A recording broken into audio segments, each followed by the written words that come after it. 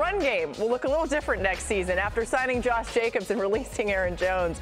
They made this move maybe with the physicality of Jacobs and durability he brings in mind to the position, despite the fact that Jones had been a productive option for years. Here's head coach Matt LaFleur on the running back position in Green Bay it kind of caught me off guard too, to be honest with you. I mean, certainly I knew that there was. Sure, you was a target. There was, yeah, and I mean, there was there was some other things in play, obviously, with with Aaron Jones, and um, I didn't quite know how everything was going to go, and it just happened um, really fast on that Monday. They came down, and I don't know all the the details of that. I, you know, I'm not involved in in those types of conversations, so.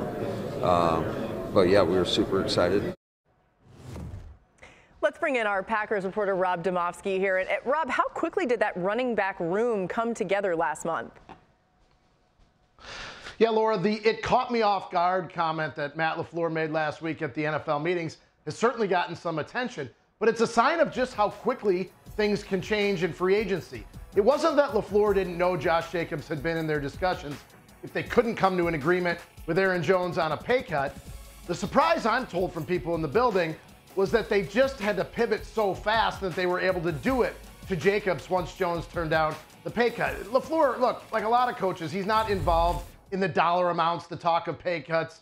Uh, but he, like many in the organization, Laura, went into the offseason thinking that Aaron Jones would be their running back. In Jacobs, though, LaFleur said they have a tough, hard nosed back who is a high volume guy. And given how Aaron Jones has battled injuries over the last year or so, maybe Jacobs is a better option for them from that standpoint. Yeah, it makes sense, Rod. Thanks for the insight there. We're glad to have you on the show. Jacobs averaged just three and a half yards per rush last season, which ranked 44th in the NFL. All right, hang tight because Rob's coming back. Packers made some major moves this offseason, bringing in Josh Jacobs and safety Xavier McKinney, but that, that meant that they did let Aaron Jones and Darnell Savage leave in free agency. They also lost Jon Runyan and David Bakhtiari. Bakhtiari played 11 seasons for the Packers, but he managed to play just 13 games in the last three seasons, dealing with so many injuries.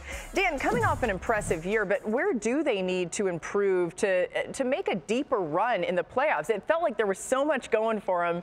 Keep it together. I'm here. I'm gonna try. Um, How do they get better next year? Yeah, I, I do think that it'll be interesting to see if the in-your-face man coverage, aggressive defensive. Um, kind of philosophy from Jeff Hafley really transforms this defense. You know, when when their complaints about Green Bay over the past couple years was this third down defense, and man, they would give up so many easy conversions and they wouldn't take the ball away and they couldn't get after the quarterback. Well, if Hafley's able, who comes over as the ex Boston College head coach, longtime NFL defensive coach, and they get better on third down and they can take the football away a little more and they can get after some quarterbacks. If you really look at this offense last year, when Jordan Love started to heat up, they became really efficient. They were really good with time of possession. They created and generated a ton of explosive plays. So how football is connected, Marcus, you know this, Ruddy, you know this. Like, okay, an offense that's efficient, they they control the game, they control line of scrimmage, and they're explosive on offense. And if they get off the field on third down and they can get off the quarterback and take away football, you're talking about not a good team, but a dominant team. And I think that will be really what we have to pay attention to in Green Bay, that defense and how the aggression changes it. Yeah, what makes sense for me, Dan, and, and I agree 100% with what you just said. But after we watch Jordan Love make his playoff run and late in that season, the number one priority becomes his protection right? And I know Bakhtiari departed, but he hadn't played much. The question that I want to see answered is Rasheed Walker going to be who they feel confident, who started at left, left tackle, tackle yeah. most of the season last year to protect this blind, blind side at left tackle? Or do you go and you try to find your franchise guy that's going to grow along with Jordan Love and this young core that they have from an offensive standpoint? And I'll say this, man, right now, I think offensive line is the need. But just something mm. that I want to put out there for the Green Bay Packers. I'm not sure if this receiving corps doesn't become one of the best by the time the season ends mm. next year. The way that these guys played and stepped up, and the number of playmakers with with Christian um, Watkins being absent for a majority down the stretch, they can be devastating. As long as he's protected, I think the Green Bay Packers are a true contender in the NFC. Yeah, let's get Rob back in here because, as you see, Green Bay has the number 25 overall pick in the draft. You, you heard Rob, the guys talking about offense, defense. Do you get any sense the bigger need from the Packers standpoint, what they think they're going to do with that uh, first round draft pick? Well, Laura, it's more than just that pick at 25. They have five picks in the first three rounds. Yeah. That's five in the top 91, thanks to a couple of trades. So they can do a lot of what Dan and Marcus were talking about.